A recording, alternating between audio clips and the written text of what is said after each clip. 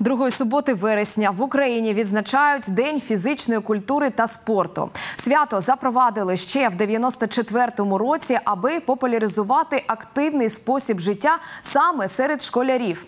Чи можливо це у звичайній українській школі? Дізнавалась моя колега. У Сурсько-Литовській школі фізкультуру не прогулюють, твердять вчителі. Навпаки, діти йдуть на заняття із задоволенням. Утім, провести урок тут ще той виклик. Урок фізичної культури тут починається з викошування трави. Перед заняттям вчитель власноруч прибирає будяки, аби діти змогли бодай зайти на спортивний майданчик. Будівля ж, яку планували використовувати як спортивну залу, наразі не придатна для експлуатації. Ремонт спортзалу розпочали зо два десятки років тому, проте й досі не завершили. Тож діти змушені займатися просто неба на не надто облаштованому майданчику.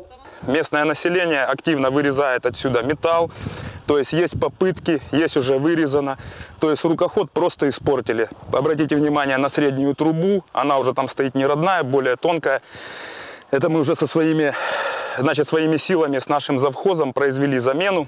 Утім, аби забезпечити дітям цікаві та корисні уроки, вчителі стараються як можуть. Утром я, прежде чем привести сюда детей, должен прийти и полностью навести уборку территории. То есть э, это, я вам честно скажу, полный мешок 50-килограммовый мусора. Занимаемся при любых обстоятельствах, в хорошую погоду, футболом. И также можно заниматься какими-то дисциплинами по легкой атлетике. Идет дождь, погода плохая. У нас присутствуют шахматы, настольный теннис, бильярд, плюс есть лекционные занятия. То есть можно разобрать правила какой-нибудь игры. Самовіддачу вчителів лікарі всебічно вітають. Адже, каже Лідія, урок фізкультури для дитини, яка левову частку дня проводить сидячи, вкрай необхідний. Особливо це актуально у так звані стрибки росту 12-15 років. вытягиваются кости, и мышцы должны быть к этому готовы. Если мышцы не в тонусе, если они не работают, они не смогут удержать скелет в правильном положении. И возникают тяжелые болезни, которые потом остаются на всю жизнь.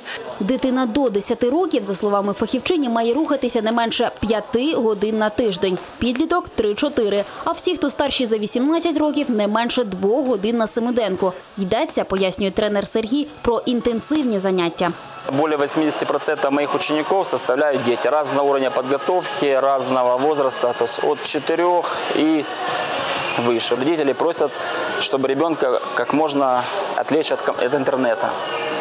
Ну и, соответственно, у кого-то какие-то задачи, развитие определенных физических качеств, каких-то навыков, воспитание характера, дисциплина. За даними компанії ChildWise, діти віком від 5 до 16 років проводять сидячи, переважно перед екранами, 6,5 годин на день. Це вдвічі довше, ніж ще 20 років тому. Дослідження лондонських фахівців показали, що у тих, хто більшу частину дня проводить в кріслі чи на дивані, на майже 30% вищий ризик депресій. А сидіння людини на одному місці понад 10 годин на добу підвищує ризик хвороб серця на 52%. Броніка Орлова, Віталій Шалдов. Новини на Д1.